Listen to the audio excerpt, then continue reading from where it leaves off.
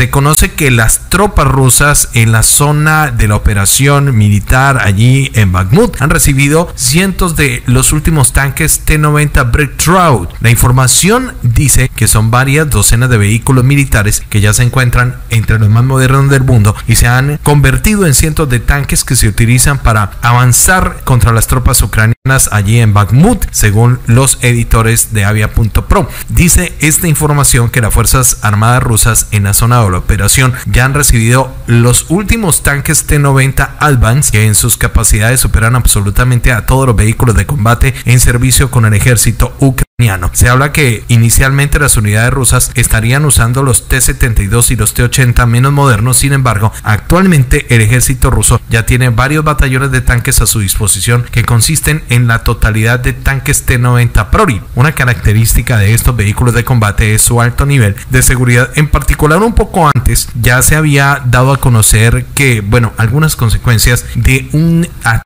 por parte de un RPG-7 donde el vehículo de combate ruso resistió el golpe preciso y no recibió absolutamente ningún daño a excepción de un elemento de protección visible durante el ataque por parte del RG-7. Los tanques T-90 Prorip se encuentran entre los vehículos de combate que tienen más popularidad, sin embargo los domésticos aún no han pasado por batallas contra los tanques Western Leopard 2 y los Challenger 2 que ya están allí en, eh, en el campo de batalla en Bakhmut y se espera información sobre lo que puede ser estas batallas para las próximas horas.